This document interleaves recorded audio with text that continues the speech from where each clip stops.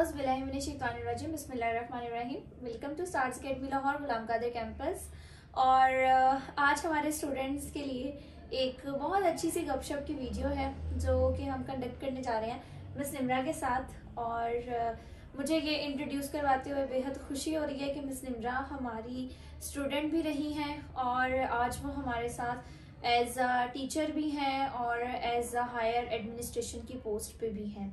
तो बहुत ही कम टाइम इंटरवल में मिस निमरा ने ये सब चीज़ें अचीव की हैं।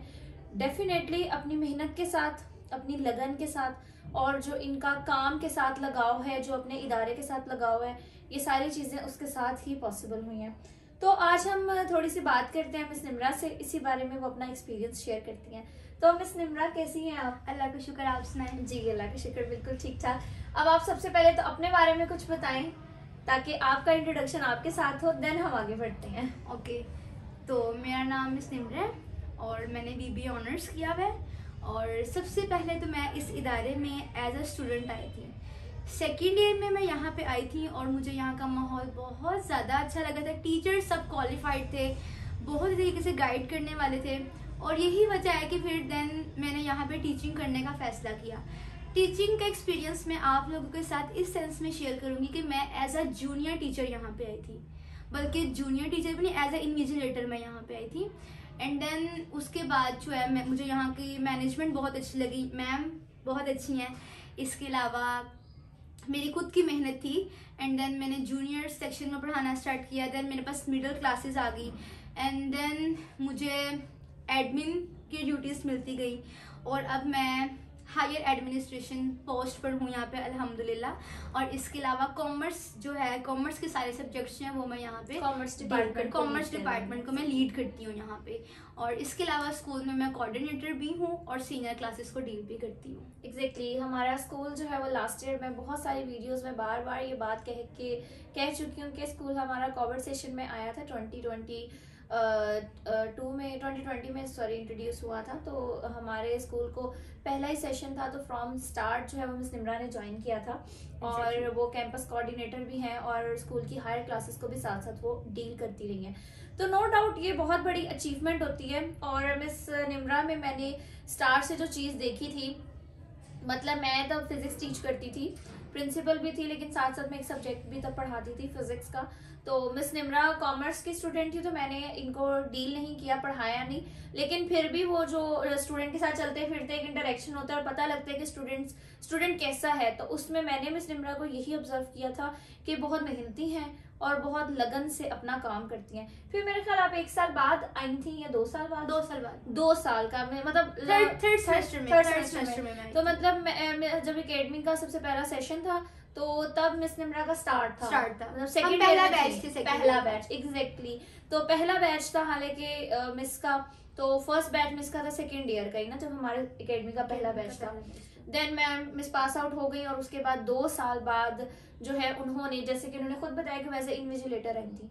लेकिन बताने का मकसद यही है इंस्पायरेशन स्टोरी यही है कि जब आप मेहनत करना शुरू करते हैं तो देन आप डेफिनेटली किसी इदारे में जब आप जाते हैं तो आपको उनके बिगिनर लेवल जो होता है वहीं से स्टार्ट करना पड़ता है exactly. तो मिस निमरा ने इन्विजिलेशन शुरू की इन्विजिलेशन के साथ उनका एरिया ऑफ़ इंटरेस्ट और उनका काम करने का स्टाइल कह लें या उनका इतना लगन था कि उन्हें बहुत जल्दी वो इन्विजिलेटर से जूनियर सेक्शन में मूव कर गई।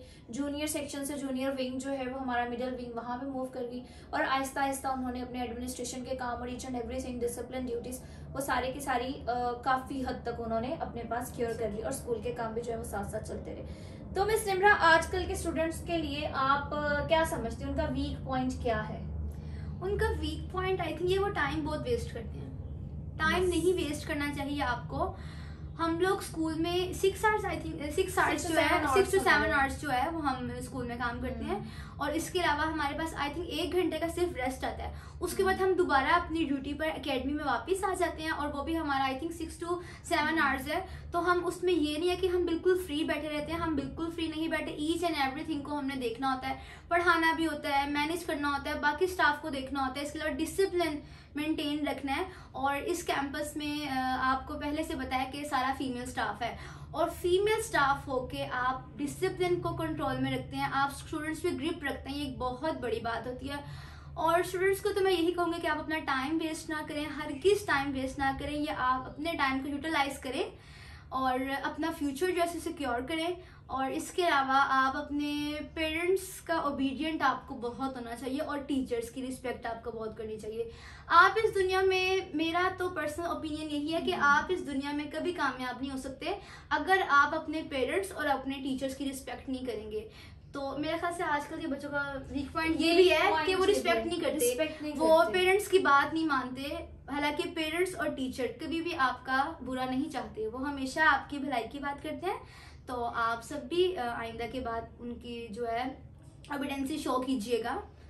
मतलब वो जवाब देना जो है ना वो ज़रूरी ज़रूरी समझते हैं। हर बात पे जो है वो जवाब देना। मेजोरिटी मैं सबकी बात नहीं की जा रही लेकिन आजकल कुछ मेजोरिटी हम्म। बच्चों ने ये ट्रेंड अपना ली है कि जो आंसर जो है ना वो उन्होंने आगे से टीचर को ज़रूर करना है। मतलब उन्होंने सही गलत वो जो एक लिहाज है वो थोड़ा थोड़ा आहिस्ता आहिस्ता सबकी बात डेफिनेटली ये नहीं है लेकिन ये ट्रेंड थोड़ा सा सेट होता जा रहा है। तो इसको लेकर आना अच्छा एक और बात मुझे जो लगती है वो ये है कि हम जब स्टूडेंट्स थे स्टूडेंट लाइफ में तो हमारे और अब भी स्टूडेंट्स हैं। अभी स्टूडेंट्स हैं। अभी भी स्टूडेंट हैं। तो हम जो थे हमें कंपटीशन होता था। Exactly exactly. हम मतलब हमें कंपटीशन होता था कि हमने अच्छा परफॉर्म करना है। हमें अपनी डिग्री से अपने मतलब इतना लगाओ इतना प्यार होता है। तो हमने हर काम अपना बहुत अच्छे तरीके और एक माइंड सेट किया होता है कि हमने गोल्स अचीव करने गोल्स अचीव गोल्स हैं हमने ये करना है। लेकिन आजकल बच्चों में वो माइंड सेट नहीं है। तो उसकी बहुत ज़्यादा फुकदान की वजह से अकॉर्डिंग टू मी मुझे ऐसा लगता है कि बच्चे बहुत पीछे जा रहे हैं। इसमें कोविड का कितना परसेंट हाथ है? इसमें आपका क्या ख्याल है? कोविड का तो डेफिनेटली हाथ है हम्म। लेकिन ये कोविड सिर्फ़ हमारे साथ तो नहीं है ठीक है? ये एक पैंडमिक हम्म। है ठीक है? तो हमें चाहिए कि अब तो एटलीस्ट हम उसे ओवरकम करें ठीक है? ओवरकम करें। और ओवरकम करेंगे, तभी हम आगे जा सकते हैं। डेफिनेटली अगर हम ओवरकम नहीं करेंगे इस चीज़ को तो फिर हम आगे जो है वो मूव नहीं कर सकते और हमारे बच्चों के लिए बहुत ज़्यादा ये बात ज़रूरी है कि उन्हें जितना मोबाइल से इंटरनेट से, वैसे तो सबको पहले भी अवेयरनेस थी। ये बात तो नहीं है कि उन्हें पहले नहीं थी, लेकिन अब जो है, अब और भी ज़्यादा आ गई है। अच्छा मोबाइल फ़ोन का वो थोड़ी सी बात अलग सेंस में चली जाती है लेकिन छोटी सी एक मैं कोट ये करना चाहती हूँ मैं हमेशा बच्चों को कहती हूँ कि एक एज लिमिट होनी चाहिए जब आपको मोबाइल फ़ोन की एक्सेस हो। उस एज लिमिट से पहले आप बच्चों को जो है ना छोटे छोटे बच्चों को आजकल मोबाइल फ़ोन है छोटे छोटे जो है ना प्री सेक्शन के बच्चे हो गए वन टू के उनको कायदे दें उन्हें बुक्स दें उनको नोट्स दें ताकि बच्चों का प्यार जो है ना वो उनके साथ हो। अब वो एक अजीब सी बात यह है कि वो बच्चे जो हैं उनकी बुक्स यहीं रह जाती हैं तो उन्हें कोई पता नहीं होता कि हमारी बुक्स रह गई हैं। वो हमारा लोअर स्टाफ जो बेचारा बुक्स इकट्ठी करके तो ये बुक रह गई थी ये बुक रह गई थी। अगले दिन एडमिन स्टाफ हम्म। बच्चों को जाके दे रहा होता है कि बेटा आपकी बुक रह गई थी। और पेरेंट्स को भी चाहिए कि जो बहुत छोटे बच्चे हैं। एटलीस्ट यही होता है ना कि दिल बहलाने के लिए या हम्म। वो काम कर रहे होते हैं वो मोबाइल फ़ोन पकड़ा देते हैं तो इससे बेहतर उनके फ्यूचर के लिए भी अच्छी बात है और पेरेंट्स के लिए भी अच्छी बात यह है कि मोबाइल्स की जगह वो उन्हें कलरफुल बुक्स ला के दें। कलरिंग करें उसके अंदर कलरिंग करें इसके हम्म। अलावा पिक्चर्स बुक होती हैं एप्पल्स हम्म। बने होते हैं इस तरह के फ्रूट्स रिकग्नाइजेशन हो जाएगी ना। तो ये फिर अच्छी बात है ये होना चाहिए। अच्छा मिस निम्रा आप दूसरे इंस्टीट्यूट के साथ हमारे इंस्टीट्यूट का आपका भी इंस्टीट्यूट है स्टार्स का आप कैसे कंपैरिजन करती हैं? आपको क्या लगता है कि मतलब डेफिनेटली मैं वो नहीं कहना चाह रही कि अच्छे ही पॉइंट्स मतलब लाइक like कंपैरिजन में आपको क्या लगता है? क्या चीज़ यूनिक है और क्या चीज़ अच्छी है आपके इदारे में? ऑब्वियस सी बात है स्टार मेरा इदारा है अल्हम्दुलिल्लाह। और इसका कंपैरिजन मैं इस सेंस में बाकी इदारों के साथ करूँगी। बाकी इदारों के साथ ही मैंने काम किया अच्छा एक्सपीरियंस रहा है। लेकिन यहाँ पर आकर मैंने बहुत कुछ सीखा है।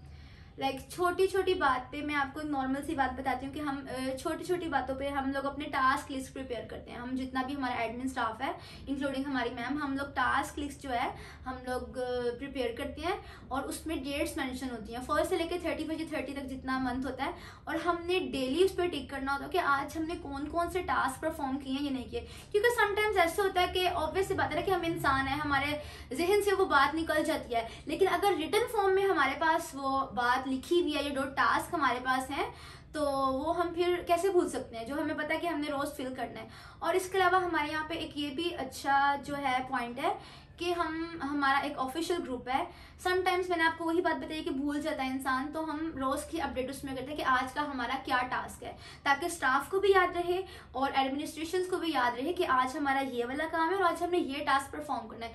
इसके अलावा डिसिप्लिन डिसिप्लिन पे यहाँ पे बहुत ज़्यादा जो है तवज्जो दी जाती है। ना सिर्फ़ गर्ल्स पे बल्कि बॉयज़ पे भी। क्योंकि एक फ़ी, फीमेल स्टाफ होकर बॉयज़ पे भी ग्रिप रखना उन पर अपना रोप रखना सारा डिसिप्लिन का कंट्रोल करना ये एक बहुत बड़ी बात होती है। जो कि यहाँ पे होता है। इसके अलावा जो है स्टडी पे बहुत फोकस करवाया जाता है। टेस्ट हम्म। सेशन हमारा स्टार्ट है नाइन्थ क्लास का और फ़र्स्ट ईयर का। और अब की बार हमारे टेस्ट सेशन की ये स्पेसिफिकेशन है कि अब की बार जो हमारा टेस्ट सेशन जो कि मैंने इस एरिया में सिर्फ़ यहाँ पर ही देखा है कि अब की बार जो हमारा टेस्ट सेशन है वो कैटेगरी वाइज डिवाइड है। Category A B and C तो इस वजह से मुझे ये अकेडमी बहुत अच्छी लगती है। आपकी अपनी अकेडमी डेफिनेटली आपको अच्छी लगेगी। चलिए मिस निमरा से कोई थोड़े से इंटरेस्टिंग क्वेश्चंस करते हैं। अच्छा मिस निमरा आपको अगर किसी कंट्री में जाने का मौका मिले आप कहाँ जाएँगी? मैं कनाडा जाऊँगी। ओके मिस निमरा कनाडा जाना चाहती हूँ। मिस निमरा आपको खाने में सबसे ज़्यादा क्या पसंद है? मुझे खाने में वैसे तो मैं सब कुछ खा लेती हूँ। हाँ फेवरेट डिश फेवरेट डिश मुझे बिरयानी बहुत पसंद है। बिरयानी बहुत पसंद है। फेवरेट कलर फेवरेट कलर मेरा ब्लू ब्लू मिस का फेवरेट कलर है। ओके तो मिस निमरा की तरफ़ से ये थी आज की थोड़ी सी हमारी चिट चैट इनशाला हम दोबारा फ़ेज़ टू में जो है वो आप सबसे मिलेंगे और इस बातों को कंटिन्यू करेंगे। अल्लाह हाफिज। अल्लाह हाफिज।